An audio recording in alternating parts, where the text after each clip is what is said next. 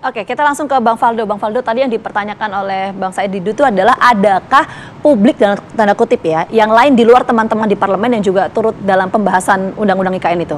Ya, pertama tadi saya, saya bertanya publik yang mana. Yang okay. kedua, uh, ya makanya DPR proses legislasi itu kan juga tadi Mas Imam juga sampaikan ada proses revisi bukan diubah digagalkan ada proses hearing sama pengamat, ada proses konsinyering dan beberapa beberapa proses-proses di DPR yang yang berjalan juga, pemerintah juga ada tim khusus untuk sosialisasi IKN yang juga dibuat. Jadi uh, ya gimana ya kalau seandainya kita melihat juga bahwa di situ ketua umum PKB yang menjadi wakil presiden Pak Anies Baswedan mengokekan juga dalam proses pembentukan undang-undang okay. itu. Partai Nasdem yang mengusung juga gitu. Jadi kita juga bingung publik yang mana yang didengar sama Mas Oke, Anies. Tapi Dan ada satu lagi, teman-teman di luar parlemen yang ikut dalam pembahasan undang-undang KN. Tadi yang dipertanyakan ya, ya pasti publik ada. Partai okay. uh, apa banyak banyak sekali eh, kampus-kampus. Uh, ya juga ada dialog-dialog okay. kan banyak, pengamat juga banyak, ahli-ahli itu kan semua diundang. Semua jadi, dilibatkan. Jadi ya? dalam artian dan itu terjadi di semua proses undang-undang sih gitu. Hmm. Jadi I mean, itu bukan hal yang aneh dalam proses pembuatan undang-undang di Republik ini ada pelibatan publik dan terlebih ada anggota DPR-nya. Tapi yang perlu kita jadi uh, pertanyaan juga, eh, ini isu kan belakangan aja tiba-tiba panas nih. Hmm. Gitu. Kita jangan jangan sampai ya jangan sampai ini gara-gara uh, momentum elektoral gitu, hmm. mengejar momen elektoral ke sana, terus bicara bahwa ini tidak sesuai publik, padahal didukung oleh partai yang uh, mengesahkan undang-undang tanpa catatan. Kecuali kalau yang ribut ini PKS, Mbak, saya nggak apa-apa.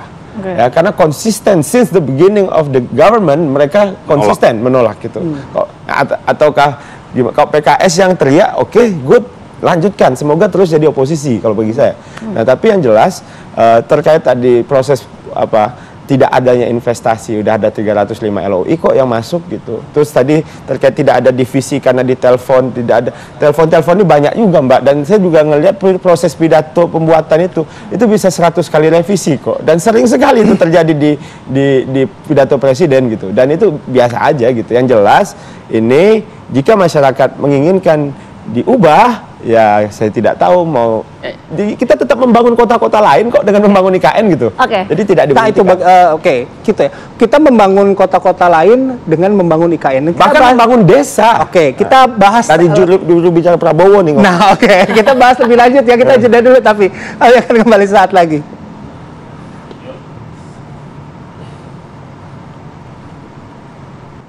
Oke, kita lanjutkan diskusi kita. Mungkin kita di segmen ini, ini segmen terakhir, fokusnya begini.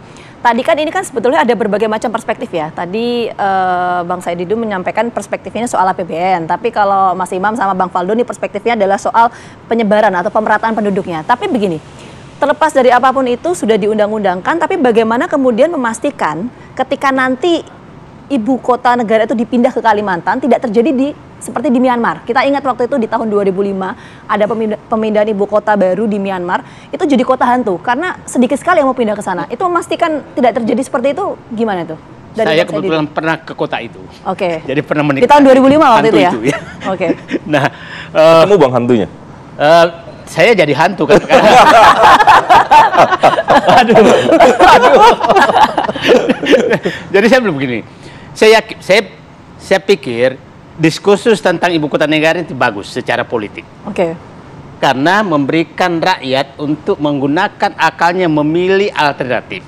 Jadi saya berharap politik ke depan itu jangan menghindari diskursus yang berbeda karena itulah tujuan kita supaya rakyat dan Ami Anis kan clear bahwa menyatakan dia memilih membangun lebih banyak kota hmm. dibanding membangun ibu kota okay. itu untuk pemerataan dan kemajuan ke negara. Itu kan kira-kira pilihannya begitu. Nah, yang lain bisa menyatakan bisa pendapat lain. Nah, bagi Amin juga menyatakan, saya menyatakan begini.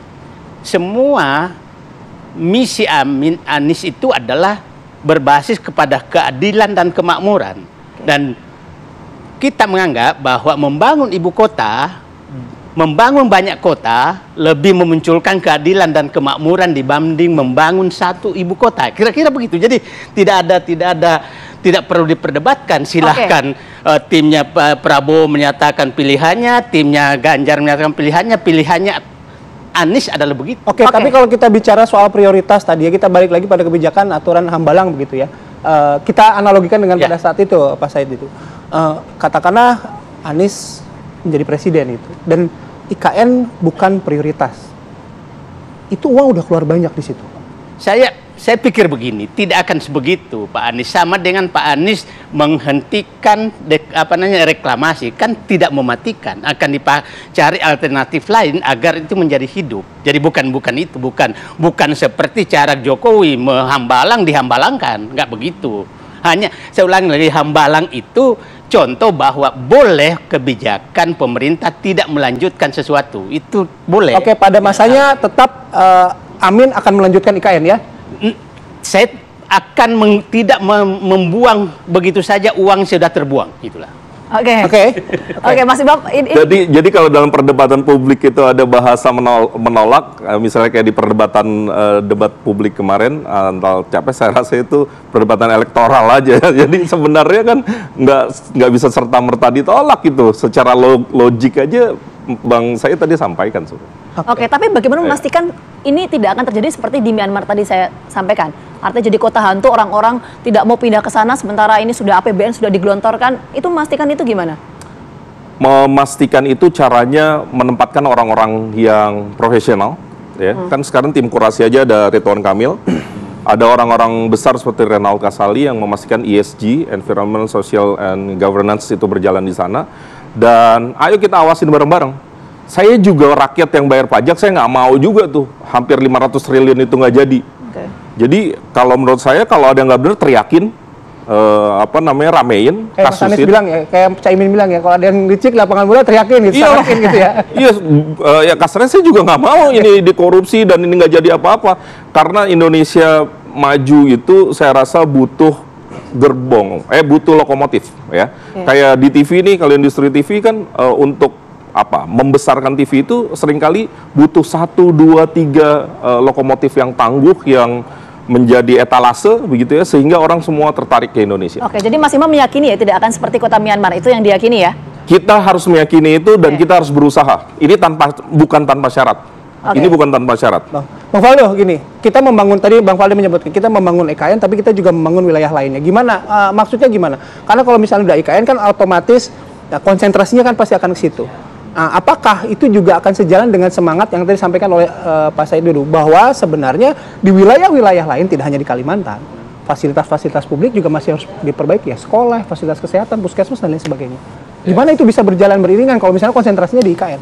Saya teringat dulu Mas Anies ketika debat sama Pak Ahok di Pilkada DKI terkait ide DP 0% rumah. Pak Anies bilang carilah pemimpin yang optimis. Ya. Ya sama, kita juga pengen mengembalikan ke Mas Anies nih.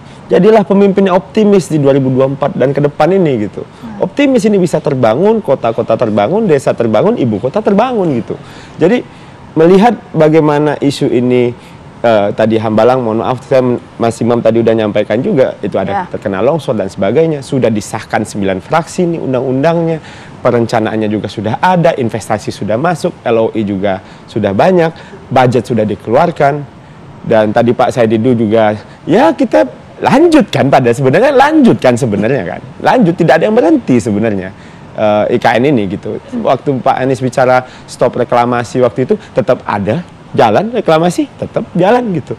Jangan sampai Om Bay ini digunakan untuk isu elektoral. Dan Anda meyakini bahwa ini hanya isu elektoral saja? Atau lanjut tadi disampaikan. Saya, saya, sebentar, saya tidak menyatakan lanjut. Saya IKN belum tentu tadi tidak menghambalankan IKN itu loh. Eh tidak, itu dua hal yang berbeda ya. Iya, iya. kira ya. Jangan jangan dibelok-belokkan. Ini teman saya sih. Jadi jangan. Dua- dua saya tahu berbeda. cara. No, bukan.